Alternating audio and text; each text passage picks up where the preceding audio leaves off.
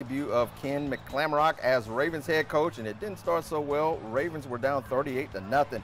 Porter Ridge quarterback Keenan Sullivan hits Rashawn Elmore, and that's a 40-yard touchdown. Extra point would be good, and it's going to be 45 to nothing.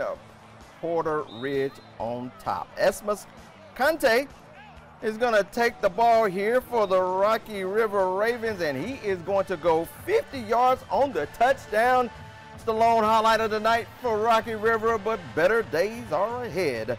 Uh, as Porter Ridge would uh, win this one tonight, 45 to 7, but Coach McClamrock is trying to change the culture there at Rocky River. This is just one night.